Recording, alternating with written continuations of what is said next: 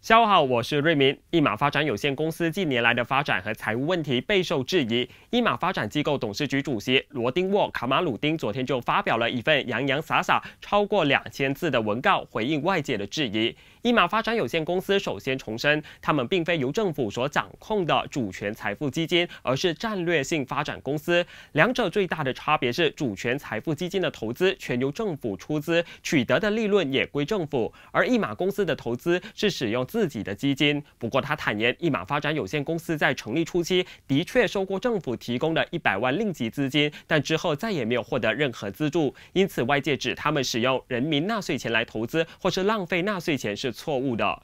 有关一马发展有限公司的资金，他们也再度的表明，截至今年三月，一马发展有限公司的总资产为五百一十四亿令吉，远远超越总值四百一十九亿令吉的债务，净资产近一百亿。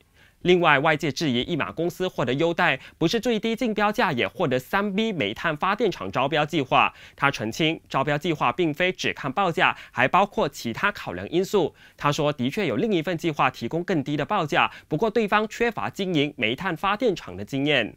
无论如何，一马发展有限公司表明他们是独立操作。不过，根据公司网页，一马公司的唯一股东就是马来西亚政府。一马公司的解释可以解答民众的疑惑吗？